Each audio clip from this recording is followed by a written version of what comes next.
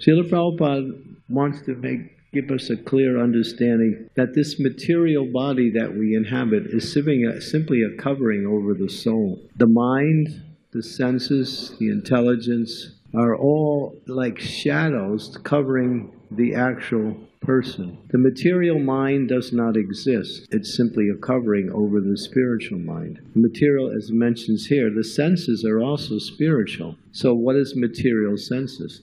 So, if you use your spiritual senses in relationship to trying to enjoy the material energy, those senses become contaminated by that energy and therefore they are they are given the definition as material. But ultimately, the body, the, the spiritual body is the real body, and the material body, as it says here, is illusion. So is our material body illusion? Yes and no.